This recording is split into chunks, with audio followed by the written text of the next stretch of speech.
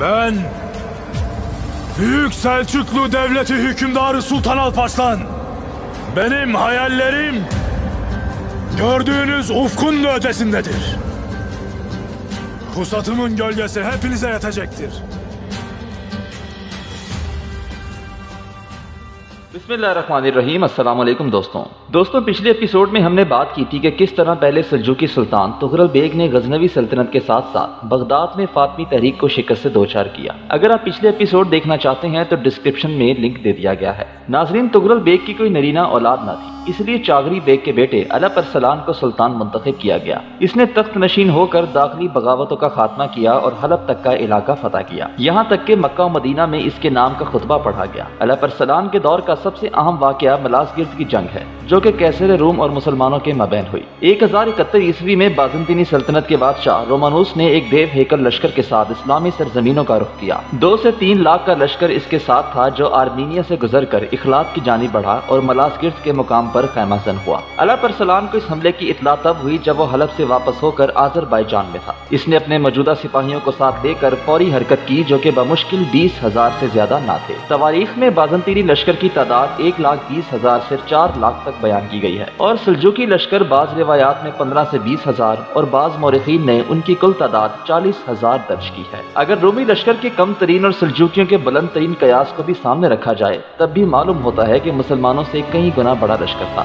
दोस्तों, जुमे के रोज, छब्बीस अगस्त, एक हज़ार इकहत्तर ईस्वी को दोनों लश्कर मध्य मुकाबले दुनिया इस्लाम में जुमे की नमाज़ में इस्लाम की सरबुलंदी की दुआएँ मांगी गई। सुल्तान ने भी माया लश्कर जुमे की नमाज़ अदा करके खूब दुआ मांगी। इसके बाद लश्कर को खिताब करके कहा कि आज कोई सुल्तान और बादशाह नहीं है। जो वापस जाना चाहता है, चला जाए। जो शहादत चाहता है, वो ठहर जाए इसके बाद घोड़े की दुम बाँध कर दुश्मन पर हमला आवर हुआ। इस्लामी अफवाज भी भरपूर शौक शहादत और जज्बा ईमानी से टूट पड़ी और सफ़े चीरती हुई आगे बढ़ती गईं। इसी दौरान रूमी फौज में मौजूद पेचिंग्स और दीगर तुर्की कबाइल भी सफ़े बदल कर इस्लामी लश्कर में शामिल हो गए, जिससे रोमियों के हौसले पस्त हुए, नुसरत खुदाबंदी से अपने से कई गुना ताकतवर लश्कर को मुसलमानों ने सख्त शिकस्त से दो चार किया और कैसर रूम गिरफ़्तार होकर अला पर सलाम के हजूर में लाया गया। यहाँ रोमानोस और सलजुकी सुल्तान का तारीखी मुकालमा नेशापुरी ने नकल किया है। कि सुल्तान ने इसके साथ इज़्ज़त तकरीम का बर्ताव किया और इसे इज़्ज़त देकर अपने पास बिठाया और पूछा, अगर मैं तुम्हारे हाथों असीर हो जाता तो तुम मेरे साथ क्या सलूक करते? कैसर ने कहा, मैं तुम्हारे जिस्म पर कोड़े मारता और कत्ल कर देता। सुल्तान ने पूछा, अब तुम मुझसे क्या उम्मीद करते हो? उसने जवाब दिया, कि या तो आप मुझे कत्ल कर देंगे या इस्लामी मुल्कों में मेरी तशहर करेंगे।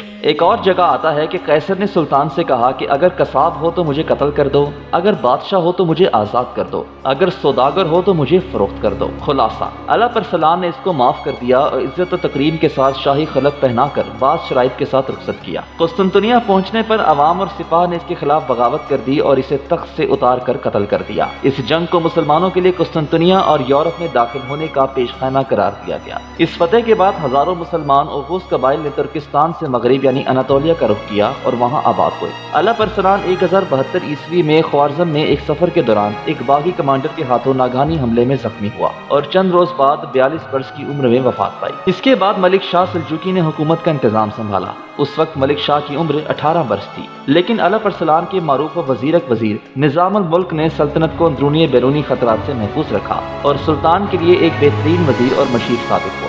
दोस्तों, अगर इन सलजूकियों के दौरे हुकूमत पर इब्तदा से नज़र रखी जाए तो मालूम होता है कि खाना बदोश कबीला, जो कि तुर्किस्तान में आबाद हुआ, ये कबीला कभी सामानियों के जेर दस्त आ जाता, कभी कराखानियों के हाथों सहराओं में बिखर जाता। यही सलजूकी तुर्कमान, जिनको फकत अपने भेड़ बकरियों के लिए चिरागा और रहने के लिए ज़मीन की तलाश थी। और महमूद गजनी के हाथों इनके सरबरा के कैद होने के बावजूद इसके मुकाबले में सर उठाने की ज़रूरत न थी। यही चरवाहे सिर्फ़ दो दहाइयों में अपने जमाने की अजीम तरीन सल्तनत गजनवी को जेर करते हुए, जिसका तस्वर न गजनवी सलातीन ने किया था और न खुद उनके वहमो गुमान में यह बात थी। एक हज़ार सत्तावन ईस्वी में सलजूकी घोड़ों के कदम दारुल खिलाफा बगदाद तक पहुँच गए। जिस अबासी खलीफा के दरबार में दाखिल होना नामवर सलातीन को नसीब न होता था, तारीख में अव्वलीन मरतबा किसी गैर कौम ने खलीफा की बेटी से निकाह किया और तुगरल बेग को यह सादत नसीब हुई। उन्होंने अगले बीस सालों में दो लाख के बाजंतीनी लश्कर को शिकस्त देकर कैसरे रोम को असीर बना लिया। दोस्तों, उम्मीद है कि आपको आज की दिलचस्प वीडियो ज़रूर पसंद आई होगी। पसंद आने की सूरत में इसको दोस्तों के साथ शेयर करना हरगिज ना भूलिएगा। और अगर अभी तक आपने हमारे चैनल को लाइक और सब्सक्राइब नहीं किया तो बर मेहरबानी। हमारे चैनल को सब्सक्राइब और वीडियो को लाइक ज़रूर कीजिएगा। अगली वीडियो के साथ इंशाल्लाह जल्द हाजिर होंगे। तब तक के लिए अपना ख्याल रखिएगा।